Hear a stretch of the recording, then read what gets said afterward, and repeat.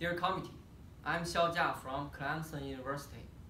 Today, I would like to share with you my research regarding a numerical approach based on a plasma temperature combined model to study the interaction between ultrashort laser and dielectric materials. Ultrashort laser is very important and employed in high precision manufacturing. With the compression of pulse duration, the peak power and the intensity can be increased significantly. From nanosecond to femtosecond, there is 10 to 6 times difference. This very unique feature will bring about high precision micro machining. Also, the thermal damage can be reduced because of the low pulse energy and non-thermal behavior within the ultra-short pulse duration. Successful application has been achieved in micro machining in both metals and dielectric materials. However, the very complicated mechanisms need to be further studied. At normal state, dielectric material will be transparent to near-infrared light. When the laser intensity is high enough, free electrons can be excited firstly, and the absorption can be increased so that the material start to absorb the laser energy and get heated. When the temperature is high enough, the physical, material, physical properties of the material can be changed, and the material will eventually get damaged.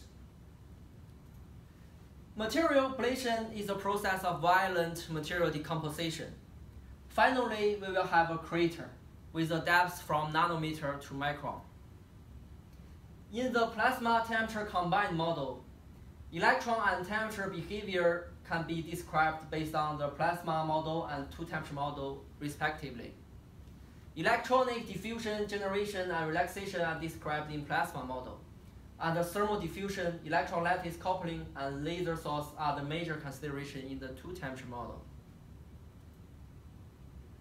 Based on simulation, temperature evolution of electron and lattice can be investigated in the material. Electrons will first be heated and transfer the thermal energy to lattice continuously. Eventually, they will achieve thermal equilibrium within tens of picoseconds. Material is treated to be removed from the sample when the lattice temperature is higher than the ablation criteria, and the ablation depth will be determined eventually. Based on this method, the prediction of ablation depth with various fluence agrees well with experiments With various pulse duration, the ablation depth can first increase in femtosecond region and then decrease in picosecond region. As for ablation efficiency, with the increase of laser fluence, the ablation efficiency will get reduced with higher laser pulse energy. This will make us to suggest that low energy manufacturing will be applied in the real manufacturing process for the consideration of high ablation efficiency and low thermal damage.